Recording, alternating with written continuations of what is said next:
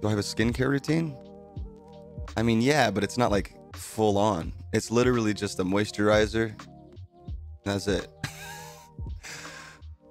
that's that's it. Literally, that's it. I don't have like a full routine. That's all I need. My pores are small enough, I think. I don't know. Or big enough. Bigger's better, right? Because they can breathe. Oh, I have an eye cream too. Yes, I do, Lucia. It's like, but it's not a cream though, because I literally take the smallest dot and I just go like that.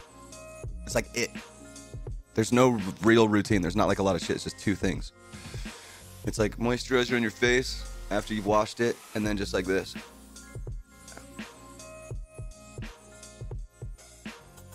But you don't use these fingers, dude. You use these fingers.